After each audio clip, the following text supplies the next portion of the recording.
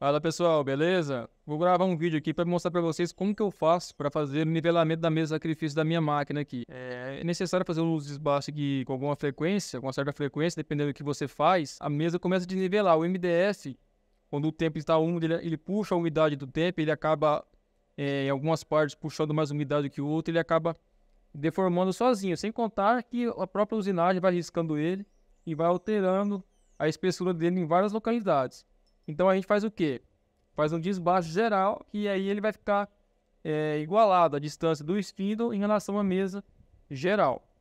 É, as fresas que eu utilizo, e vou recomendar que você utilize, é, vai depender do tipo de equipamento que você usa para poder usinar aqui o spindle. Se você utiliza uma tupia ou um spindle de 2 CV, 1 CV ou até menos, vou te recomendar para você fresas de desbaste de no máximo 25 milímetros de diâmetro. É, existem fresas maiores, essa daqui tem 40 e tem fresas de 50, bem grande mesmo. Mas o que acontece? O pessoal tem uma tupia e quer fazer o desbaste com uma fresa dessa, muitas vezes até em madeira dura. Você vai perder muito mais tempo fazendo com essa do que com essa. Por quê? Porque para que o seu spindle consiga trabalhar com essa fresa, você vai ter que trabalhar com a velocidade muito pequena, porque senão ele vai travar. Porque uma fresa dessa daqui, além de ela ser mais grande, ela também vai pegar muito mais material e vai deixar muito mais pesada a usinagem. Aí se o seu spindle não aguenta aquele avanço, você tem que diminuir e tão devagarzinho aí a fresa vai queimar. E quanto maior a fresa, mais rápido é o deslocamento. Então a fresa acaba queimando. Mesmo com um spindle de 3CV, que é no caso do meu aqui, muitas vezes ainda acaba queimando. Porque a máquina minha consegue atingir uma velocidade maior, mas o spindle dependendo do material, não aguenta. Para spindle de 2CV para baixo ou tupia, você utiliza no máximo 25 milímetros de diâmetro. Aí se você tiver um spindle de 3CV ou mais, aí você pode utilizar é, de, de 3CV 40 milímetros funciona bem. E no, no spindle de 3CV assim, você pode usar até maior também, que vai render mais a usinagem. Em relação à estratégia de usinagem aqui no Aspire, você pode usar diversas que o Aspire oferece. Você pode usinar é, no sentido do eixo X, da esquerda para a direita, ou você pode usinar também de frente para trás e trás para frente, a máquina vai e volta. E também pode começar pelo centro e a máquina vai girando e sai nas bordas. É, normalmente, você trabalhar com ela na parte mais comprida dela, no sentido mais comprido, indo e voltando, vai ser o que mais vai render, porque a máquina vai fazer menos manobra. Quando ela vai fazer uma manobra, ela reduz a velocidade dela. Então, no caso da minha aqui, como que ela tem 2 metros no eixo X e 3 metros no eixo Y, é mais vantajoso trabalhar com ela é, para frente e para trás. Ela vai lá e volta, fazendo várias, várias trajetórias nesse sentido, para frente e para trás, no eixo Y.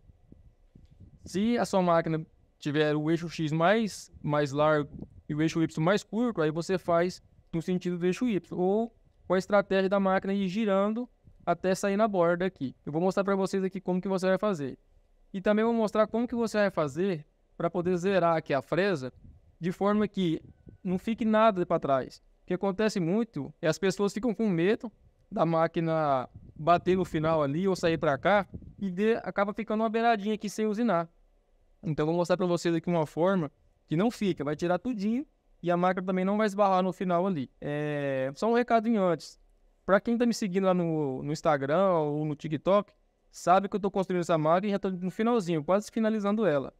E logo vai sair no canal um vídeo mostrando todos os detalhes de como eu fiz essa máquina, as peças, os motores que eu utilizei, tudinho, vou mostrando todo em detalhes. Então se você quiser ver esse vídeo, me segue aí no canal, clique aí em seguir, se inscrever no canal, para o YouTube te notificar desse vídeo quando eu postar ele, tá bom? E vai acompanhando sempre os vídeos que a gente posta aqui no canal. Então vamos lá, eu vou mostrar para vocês aqui como que vocês vão fazer para poder posicionar corretamente a fresa e desbastar toda a mesa de sacrifício e também como que você vai zerar a fresa no sentido da altura. Primeiro, você vai selecionar um canto para ser o seu ponto zero. No caso aqui, eu selecionei o canto direito, canto direito inferior direito da máquina. Mas você pode selecionar em qualquer um dos cantos aquele que fica melhor para você. E aí você vai colocar uma fresa fina, pode ser uma V-bit ou uma fresa fina assim, topo mesmo, topo reto. E aí você vai colocar ela bem no cantinho assim. Olha aqui bem no cantinho. Ela pode até passar um pouquinho assim. O que acontece? Essa fresa aqui é maior, então, ó, para ela chegar na mesma posição que aquela, o espinho pode estar bem mais para cá. Como que essa daqui tem 40 milímetros, então do meio para cá fica 20. Então vai ter uma folga bem, bem boa aqui ó, em relação para a máquina não bater no final aqui. Pode deixar a fresa bem ali. E nesse sentido aqui também, bem na bordazinha aqui. E aí você vai trazer, zerar aqui o X e o Y. E aí você vai levar sua máquina toda no, no X para lá, para o final. Aí você vai vir aqui no eixo X, no Y e vai zerar ele, tá bom? E depois você vai pegar a máquina e vai levar para o outro lado do eixo X e deixar a fresa nessa mesma posição aqui.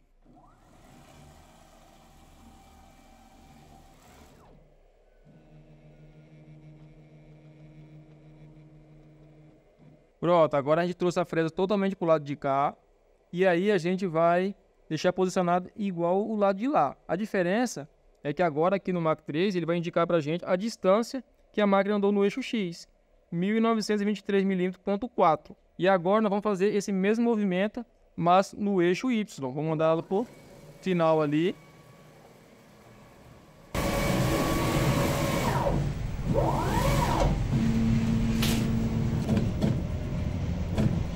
Pronto. Posicionamos ela também no, no final, no eixo Y também, da mesma forma que nos outros eixos. Agora aqui no Mach 3, está indicando o tanto que ela tem de espaço no eixo X e o tanto que ela tem no eixo Y.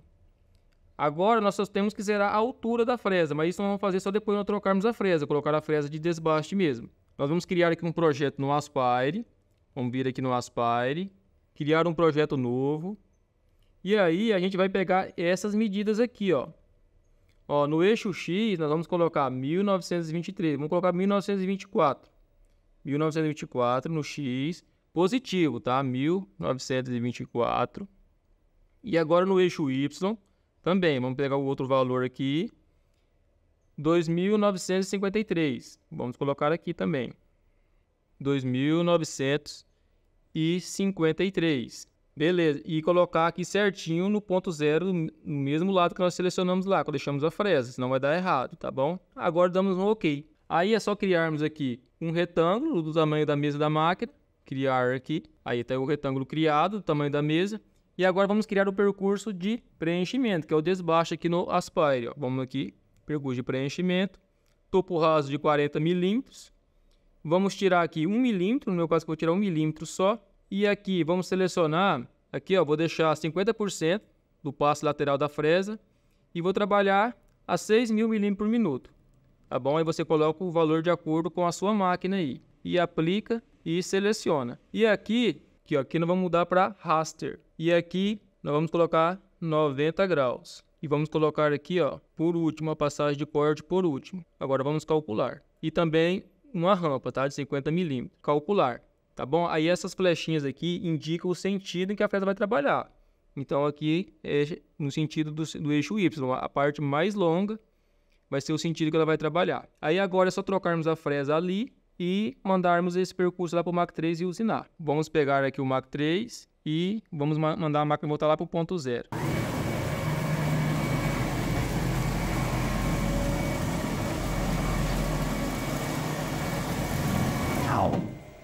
Beleza, agora vamos levantar o eixo Z, vamos trocar a fresa, vou colocar aquela fresa de 40 milímetros. Pronto, já fiz a troca da fresa, coloquei a fresa aqui de 40 milímetros. Agora vamos zerar aqui a altura, vou pegar ela aqui. Como que a minha mesa de sacrifício ela só está riscada, aí eu vou posicionar ela aqui na parte mais lisa e vou zerar a fresa, dessa forma. Ó. Quando ela só triscar na mesa, aí tá bom, ó. Ela está girando, mas está pegando. Agora eu venho aqui no Mach 3 e zero apenas o eixo Z, tá bom? Não pode mexer nos outros, senão atrapalha tudo. É só o eixo Z. Os outros Z já está posicionado na, de forma correta. Aqui está mostrando esses números porque nós movimentamos a máquina. Ela não está nesse ponto aqui mais. Mas ela está referenciada aqui. Aí agora é só pegar aquele programinha que nós criamos no Aspire e jogar aqui para ela usinar. Prontinho aqui. Agora eu só vou dar um ciclo start aqui, ó.